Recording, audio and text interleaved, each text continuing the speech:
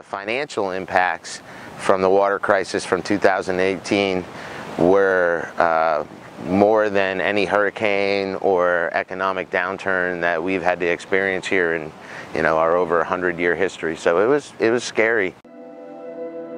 An algae crisis threatening our treasure coast a cycle of despair and disgust amidst promises made and broken. Billions of gallons of water are rushing from lake okeechobee to our coastline how much pollution is too much, how much danger is too much, how much before this will stop.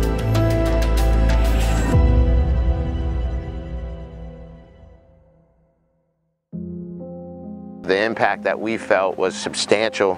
Guests left, um, reservations canceled, cash flow evaporated, and you know it was everything I had I had in me to to keep my staff employed.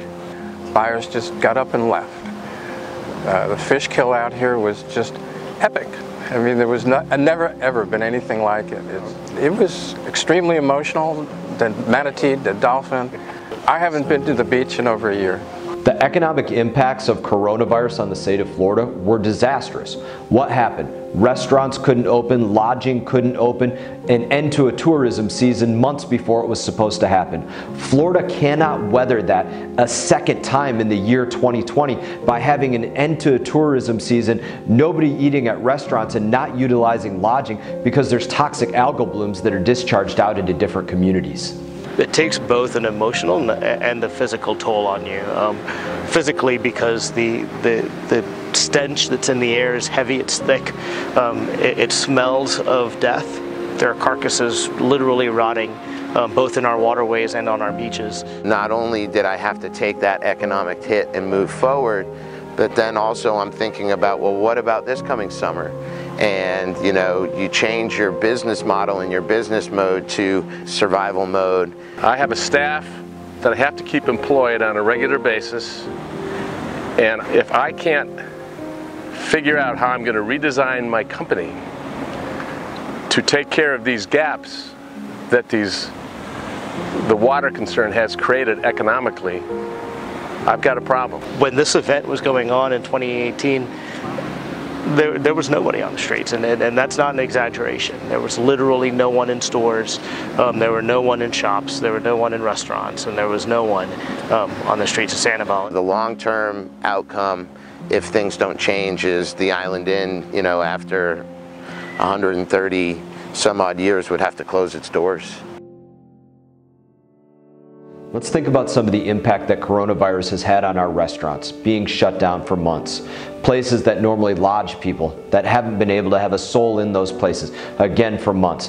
Why did they do that? Because people can get sick from the spread of COVID 19 those businesses will not be able to weather another period of shutdown because of toxic discharges. To try to fish through a toxic algae bloom and red tide like that is it's very challenging. We need to fix all these problems. What is different about the sickness that people get from toxic algal blooms, from breathing in the airborne pathogens of toxic algal blooms? I think we all have to look in the mirror, regardless of what we do in life, and ask ourselves what we can control and how we're going to do that in order to make the state of Florida a better place for everybody. We're looking for a balance that's going to provide opportunities for, for everybody to, to thrive and succeed here in South Florida um, because it's, it's a, it's a world-class fishing destination and it's, it's somewhere that we want to continue to see healthy estuaries and clean water. And when we ask ourselves that question, we realize that we can control the water that comes off an agricultural field, just like we can control the water that comes off of a yard, and the water that comes off of a golf course, and the water that comes off of a roadway. We can control what feeds into Lake Okeechobee and whether that's clean or dirty water. And we can control whether we allow the water out of Lake Okeechobee to go out and destroy coastal estuaries on the east and west coast of Florida. And we can control whether we get enough water down to Florida Everglades and Florida Bay to make sure that they have the right levels that they need for good ecology. These are things that we can do actively but sometimes it involves making hard decisions, doing tough things that say, you know what?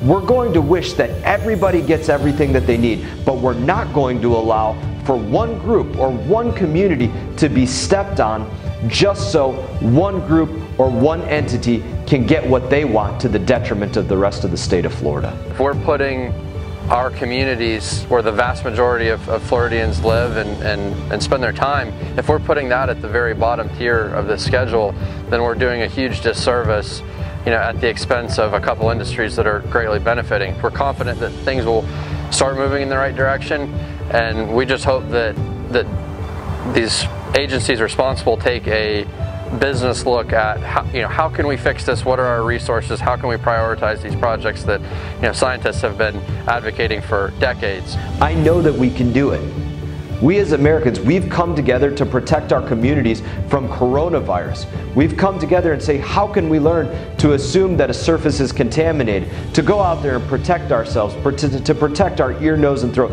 to wash our hands, to sanitize our hands, to clean things out, to have better hygiene. We came together and we figured that out.